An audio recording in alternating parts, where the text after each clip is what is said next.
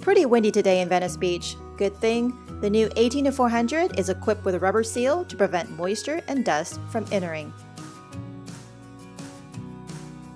Recently, I got a glimpse into the world of professional skateboarding while helping my friend shoot two-time Thrasher Magazine's Skater of the Year Chris Cobra Cole.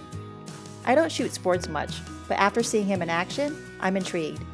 So I decided to get some practice shots in here at the skate park with Tamron's new Ultra Telephoto 18 to 400 millimeter all-in-one zoom lens.